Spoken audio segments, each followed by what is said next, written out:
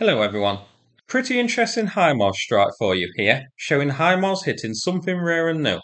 This shows a Torn MDM electronic warfare system getting hit. You can see that a Shark UAV is used here by Ukraine to observe the Torn as it's parked near some buildings and partially hidden in the trees.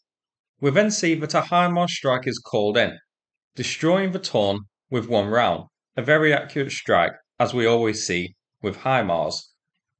These are very valuable vehicles and major targets for Ukraine. Now, we're not jammers, so we can't really mock the system for failing to jam the HIMARS. I'll have a look at what exactly the Torn is, and then we'll go through the geolocation. So, here's an image of a Torn. It's an electronic warfare complex mounted on a truck. These entered service shortly before the war. These aren't your bog standard jammer or electronic countermeasures vehicle.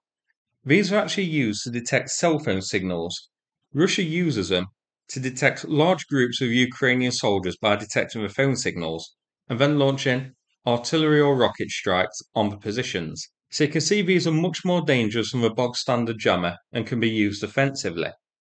This isn't the first one destroyed.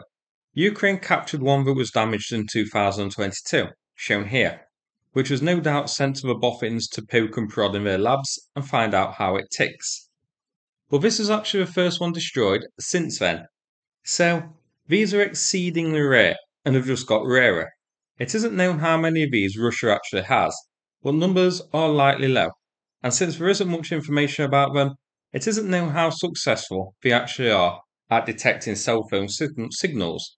But on paper at least, they are quite dangerous. I'll have a look at the range of them in just a moment. First, here's a geolocation done by Blinsker on Twitter. The Torn system hidden in the trees near this house. If we zoom out, we can see this is in a settlement called Dubikov, which is in Kherson district. So this system has a max range of 30 kilometers or 70 kilometers depending on what, which type of detection is used, either very high frequency or high frequency. Very high frequency is 30 kilometers, high frequency 70 kilometers and that range is roughly shown here, the 70 kilometer max one. So you can see it can detect phone signals in large areas of Kherson.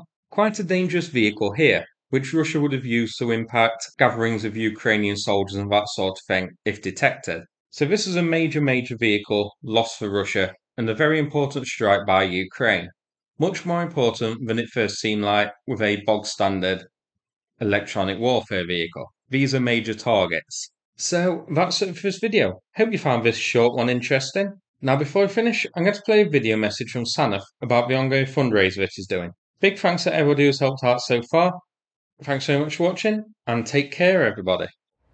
Hello Suchomimus community, my name is Sanath. Uh, I'm a volunteer that's been helping the Ukrainian military uh, for the past two and a half years.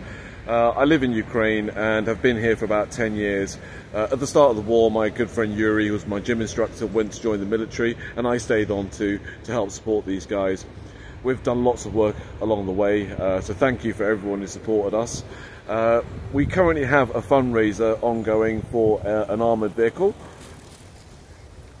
uh, cyclist uh, for an armoured vehicle. It's going really well. We've raised nearly £10,000. We have got £15,000 to go. The vehicle has already been purchased uh, and is now at the garage. It's having a BMW engine installed and then it will be taken to Ukraine to have the ceramic and Kev Kevlar uh, armor armaments installed. So with your continued support, we'll be able to uh, bring this project to a successful conclusion. Thank you very much.